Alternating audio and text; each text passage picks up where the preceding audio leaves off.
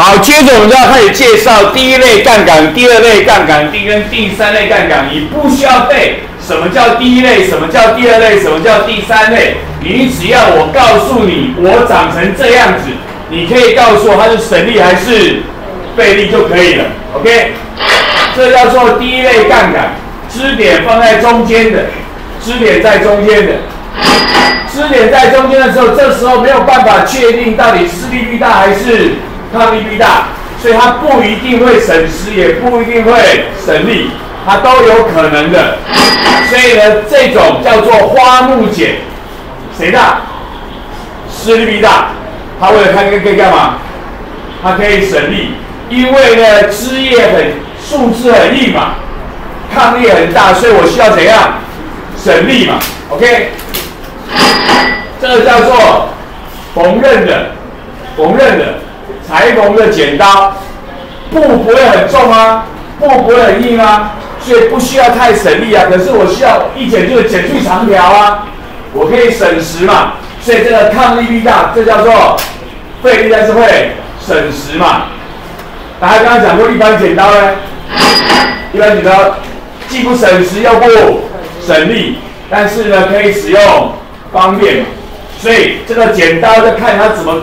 剪刀看它是什么样的剪刀，剪花木的剪刀，还是那个裁缝的剪刀，或者是那个剪头发的剪刀，那才知道它是省力还是费力，这不一定。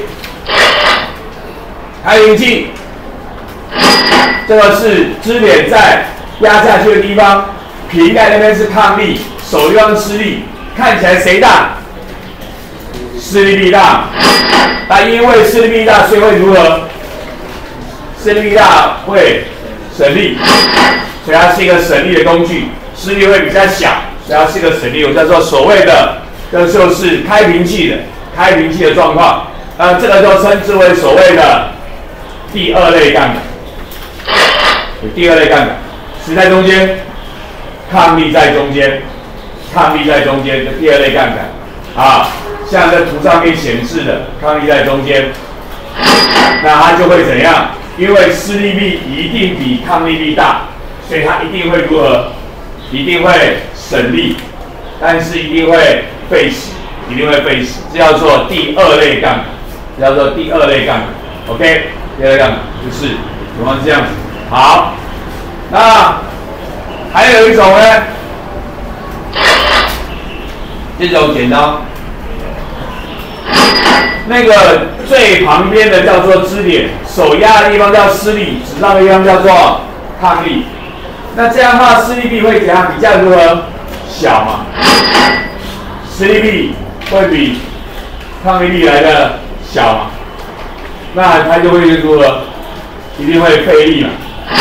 但是它会怎样？省时啊！你手压一点点，它可以剪出一大块，剪出一大块，它是个费力的工具。这种就称之为所谓的第三类杠杆，谁在中间？施力在中间的，施力在中间的，然后第三类杠杆。